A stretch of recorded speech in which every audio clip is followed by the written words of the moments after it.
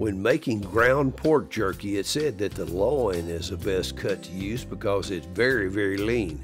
Well, I don't have a pork loin, but I do have a pork butt that I bought on sale for just 88 cents a pound. We will be using the whole pork butt, and depending on who you ask, pork butt probably contains between 20 to 30% fat.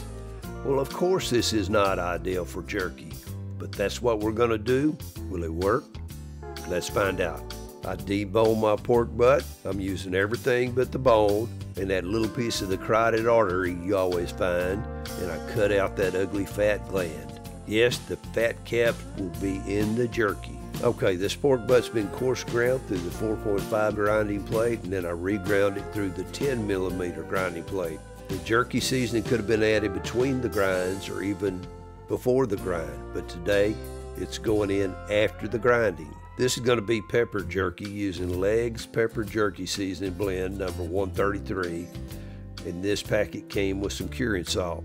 So the seasoning package is enough for 25 pounds of meat, and that works out to 0.54 ounces per pound of meat for the seasoning. With the seasoning, you can put in a little bit more or you can put in a little bit less. Now, the curing salt, on the other hand, should be measured as precise as possible one ounce per 25 pounds of meat.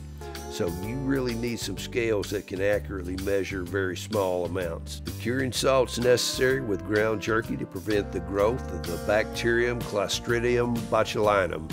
In other words, this is an insurance policy to prevent botulism.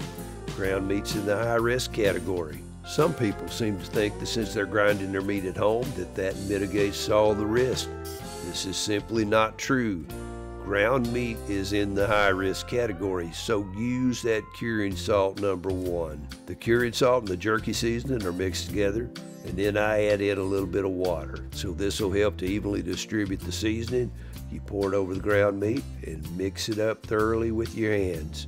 The curing salt needs time to work its magic, so when making jerky, 24 hours of cure time is preferable. I bagged up the seasoned meat. It goes in the refrigerator overnight. I went ahead and vacuum sealed my bags. After that 24 hours of cure time, then load up that jerky gun. The seafood racks from my Cookshack electric smoker are perfect for making jerky. The meat mixture in the jerky gun comes out smooth and easy, and I think that little bit of water helps to smooth it out even though it will definitely add in some dehydrating time. I preheated the smoker to 300 degrees Fahrenheit and then I added in a couple ounces of cherry wood. When the smoker reached 300 degrees Fahrenheit, the jerky was placed in the smoker for 10 minutes with the door closed. Now, the idea is to get that jerky up to 160 degrees Fahrenheit, which is a safe temperature, as quickly as possible.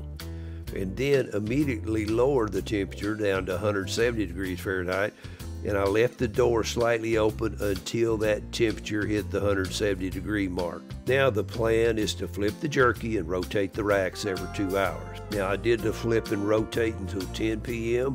By then it had had eight hours of drying time and it was not ready. So I knew before I started it was going to be a long haul. Now, I decided to lower the temperature to 140 degrees and come back the next morning to see what I had. Wasn't really sure how this was going to turn out, but the first thing in the morning, the jerky was done. It passed the bend test, but more importantly, it passed that taste test. Was it greasy? Why, yes, yes, it was. But to me, it's kind of like when you eat a piece of bacon, there's going to be some grease involved. I think it's at an acceptable level. Now, the downside is that it's greasy. It'll definitely not store as long as lean jerky. I cut the jerky sticks in half, packaged them, vacuum sealed them up, and they're stored in the freezer. I take them out one pack at a time for eating. So, the bottom line about making jerky with pork butts it would not be suitable for that elk hunt that you're dreaming about all your life because it may turn rancid before you get home. But for jerky to eat around the house with temperature controlled storage, it's wonderful. You can't be in a hurry when making it from pork butts, and it's not for long term storage.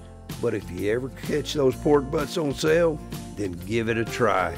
Now, all you got to do is hit that like button on your way out, consider subscribing, and I hope to see you next time at Paw Daddy's BlindHawg Barbecue.